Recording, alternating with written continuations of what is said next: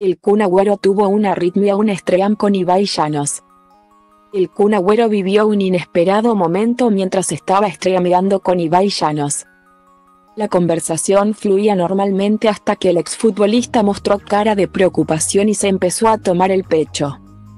Como intentando concentrarse en sus latidos. El español se quedó mirándolo sorprendido. Y le preguntó con seriedad qué es lo que pasaba. Creo que me agarró una mini arritmia, sentenció el Kun, con una sonrisa agridulce. Si bien Ibai le ofreció ver a un médico al instante, el argentino lo rechazó y aseguró. Mientras contaba las pulsaciones, que podía monitorear toda la situación con el registro del chip que controla sus signos vitales y puede ver desde su celular.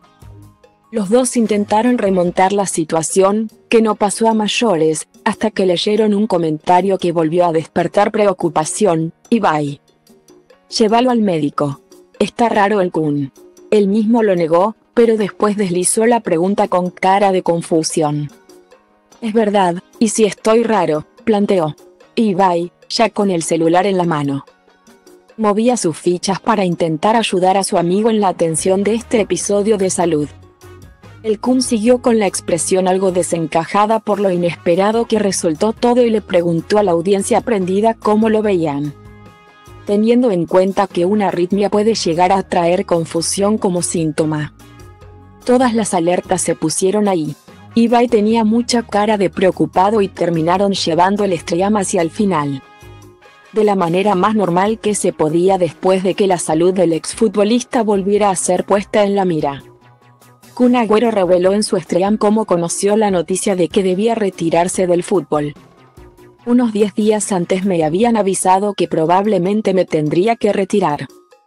Pero no lo asumía aunque me venía preparando para ese momento. Cuando me dijeron que era el fin. Que tenía que decirlo, me fui a de viaje para distraerme un poco, contó sobre su primera reacción. El día de la despedida estaba tranquilo, iba a decir lo que me pasó y lo que sentía.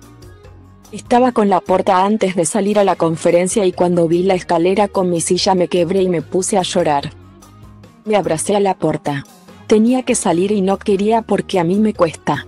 No quería que me vieran llorando y me decía a la puerta que tenía que salir a hablar. Empecé a pensar que tenía que estar relajado y me relajé, explicó. Muchos preguntaron qué cuidados debía tener con esta nueva realidad de su salud, me pusieron un chip en el corazón.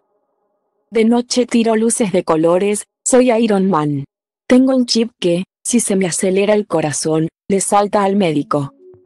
También contó detalles de la colocación, me acosté en la camilla, el médico preparó una aguja y me pinchó en el pecho. Al rato veo que saca un cuchillo, como la navajita y me dice, ¿te duele?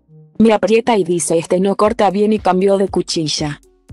Como cuando comes asado y querés el cuchillo de sierra que es el que corta la carne bien. No me dolió. La tot cam, ce sunt, ce simt, ce reprezint. Mă disting fără blingă, nu te-am, nu te voi, nu te mint. Casa de cultură hip-hop mă găsești construind Scui beton după care îl întind Și el devine tare în timp, ca așa e betonul. Underground, de 97 am dat tonul. Dar nu ca Vodafone și acum rapul e moda, oh nu, așa e. Și zici că stom fort, la cum mă comport. Întreaba asta nu loc de confort, record și omor tot. Sunt un crucișător, lansând rachete aerosol Încă de când el era broc și se uza de aerosol. De când aveam mol, de când nu știai ce un miscol. De când ascultam gangsta rapper bază pe pistol. Dacă nu înțelegi textul sună pe Irina Nistor. Vă întâlniți în tristor la 0 grade viscol Nu tag nici stins mort O să mă auzi prin sol. Transpir hip-hop prin pori Bile mari